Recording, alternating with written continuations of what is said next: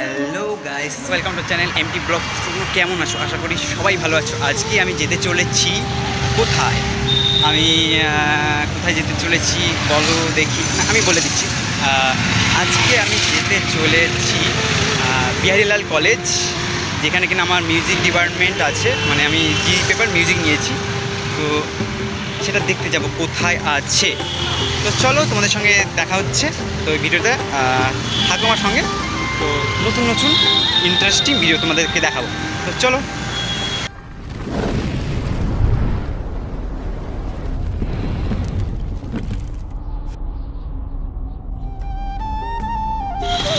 হেঁটেই যাচ্ছি তখন থেকে খুঁজে পাচ্ছি না আমাদের মিউজিক ডিপার্টমেন্টের ক্যাম্পাসটা সেটা হচ্ছে আলিপুর জেল মিউজিয়াম আছে, তার পাশেই বিহারীলাল কলেজ তো হেঁটে যাচ্ছি, আমার হাঁটার অভিজ্ঞতা খুবই ভালো মানে ভালো বলতে প্রশংসা করব না মানে আমার হাঁটতে খুবই ভালো লাগে আর কি। আমাদের ক্লাসে সবাই তোমরা জানো যারা আছো, যারা আমার ভিডিওটা দেখবে হাঁটতে খুব পছন্দ করি আর কি। তো এই দেখতে দেখতে জেল মিউজিয়ামটার কাছে চলে এসেছি মানে আলিপুর মিউজিয়াম আর কি।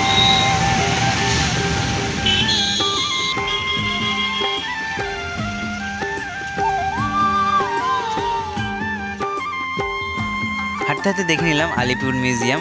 যাইনি কখনো, তবে পরে দেখে নেব। আমাকে এখন যেতে হবে বিহারীলাল কলেজের উদ্দেশ্যে। তো চলো। ব্রিজ পেয়েছি এখানে, সামনে। ব্রিজটা হেঁটে হেঁটে যাচ্ছি আমি।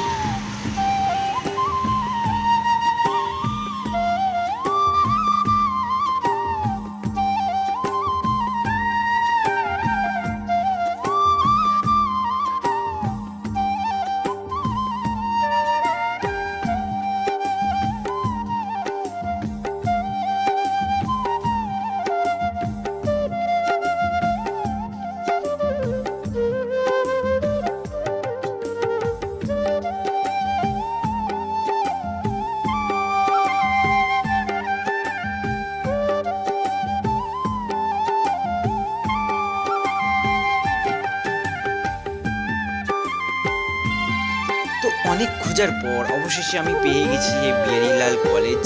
তো একজন দুজনকে পেয়ে গেছি এই দেখো। কলেজটা খুঁজে পেলাম জানি না কোথায় কি আছে।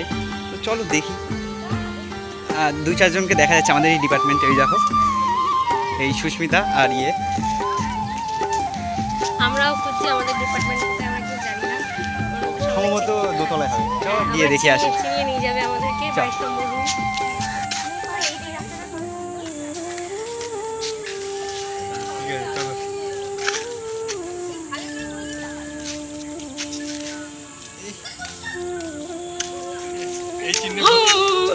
পাশে আছে ভোট দিন। আচ্ছা তোকেই ভোট দেবো আমরা। বোতল চিহ্নে ভোট দিন। তো অনেক খোঁজার পরে আমরা আমাদের ক্লাসের রুমটা পেয়ে গেছি তো আমরা সেই দিকে যাচ্ছি।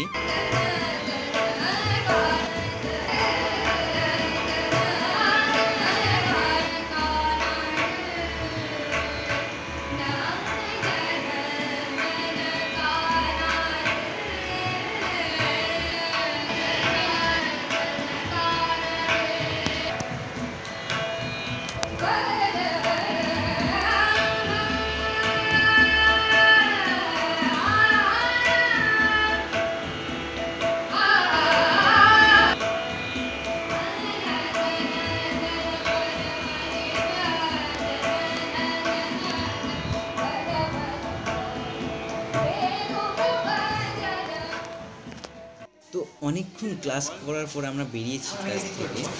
মনে মনে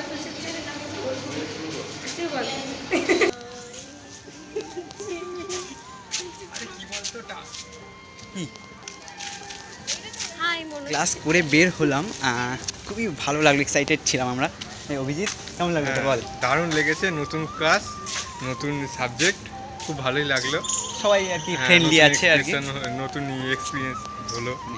আরও আছে আরও আমাদের আছে। এখনও দিন পরে তো যাচ্ছি আমরা এখন বাড়ির উদ্দেশ্যে ক্লাস শেষ। তো ওই যে ওরা আসছে। তো আজকে ফার্স্ট ক্লাস করে তোদের কেমন অনুভূতি হলো আর কি? সারে গামা অনুভূতি। সেই বল তোরা কিছু বল। সেই সারে গামা অনুভূতি হলো কি? বলব বাড়ি তো বলতে পারো যে ভালো বলেছে। স্টার্ট ইস, মনোদোষের মেয়ে পছন্দ হয়েছে তাই ওর সঙ্গে ছবি তুলতে গেছিল এটা আমার বলার ছিল হ্যাঁ জিজ্ঞেস করছিলাম এইসব বলছি এইসবই তোর চ্যানেল তো ওই জন্য তো ওরা যা বলছে কিছু মনে করো না। বানি বানি বলছে। গাইস মনে করো না। ঠিক আছে থামে পাত্রা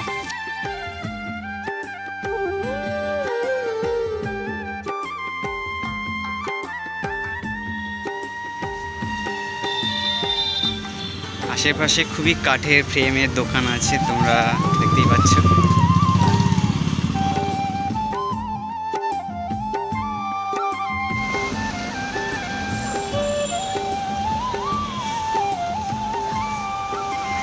আগে আমি সত্যি বলতে কি, একদম বাসে চড়তেই পারতাম না। তো গত এক বছর ধরে আমার বাসে চলতে চলতে অভ্যাস হয়ে গেছে, তো এখন আর কোনো প্রবলেম হয় না।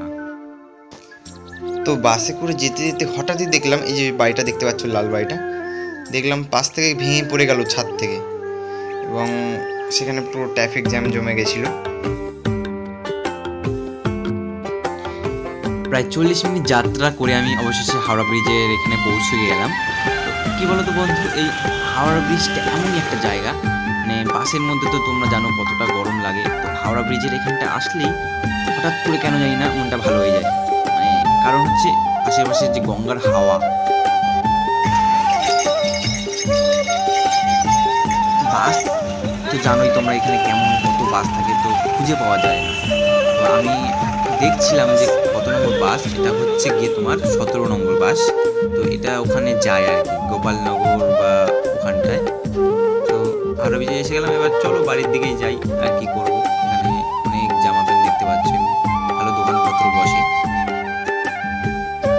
আজকে হাওড়া ব্রিজের এখানটায় অনেক ভিড় ছিল আজকে, তো অনেক কষ্ট করে আমি স্টেশনে পৌঁছলাম। তো স্টেশনে ওখানে গিয়ে তো এখান থেকে আমি কয়েকটা লেবু কিনে নিলাম, অনেক কমে দিচ্ছিল। তো চলো, তো তোমরা যারা আমার ভিডিওতে এত পর্যন্ত দেখেইছো, তো সাবস্ক্রাইব করে দিও।